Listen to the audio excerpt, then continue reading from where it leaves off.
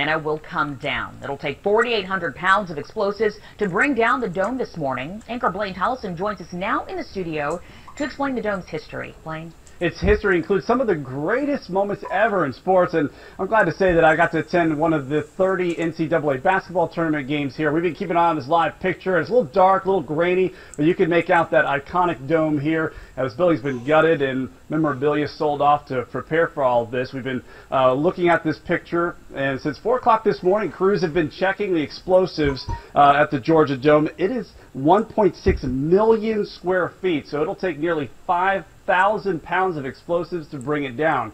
It took a few years to build, but it'll take only 15 seconds to implode.